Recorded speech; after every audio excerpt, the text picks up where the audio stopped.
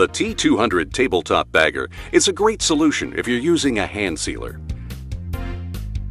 This no-frills model will increase production with speeds of 5 to 15 bags per minute, and it's designed to handle hundreds of applications.